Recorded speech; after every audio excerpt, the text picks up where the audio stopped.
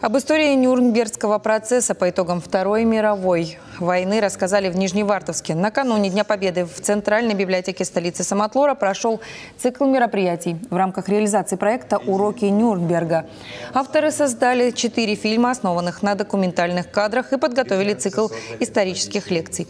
Участники проекта более 20 тысяч старшеклассников и студентов столицы Самотлора. Экспертами стали ветераны, труженики тыла, дети войны, школьные преподаватели истории и руководители музеев.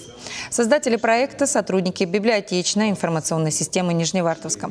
Реализован он за счет гранта президентского фонда культурных инициатив. Теме войны и, и э, Нюрнбергскому трибуналу очень мало уделяется время в школьной программе.